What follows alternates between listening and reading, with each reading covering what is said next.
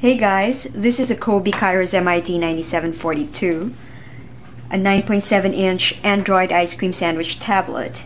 Now I'm going to show you how to use the on-the-go mini USB cable to open the files on your flash drive. The first, what you need to do is connect the flash drive to the cable and then connect the cable to the tablet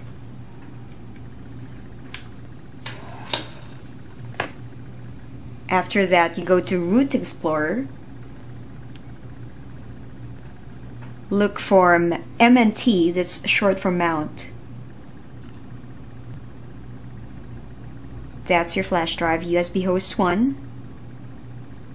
Here are the contents of the flash drive. So for example, you want to watch the Olympus video. Just click this. Choose ES Media Player.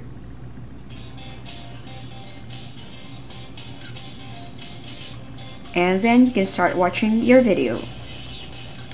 And then for example you're done already and you want to safely remove your flash drive.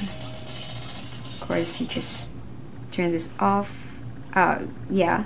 And then go to settings. You go to storage. There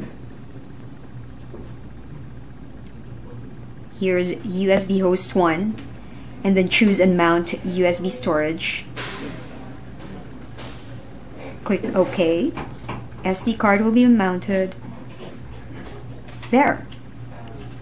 You can safely remove your USB now. It's so easy, right?